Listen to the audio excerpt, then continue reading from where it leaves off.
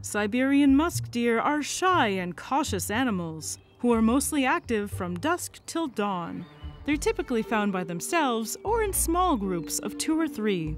And usually those groups are a mama musk deer with their babies.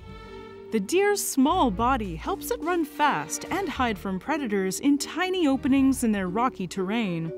Lynx, wolverines, and the yellow throated marten are the greatest predators of this little ungulate. And when they notice danger, they raise their tails to helpfully alert the other members of the musk deer community.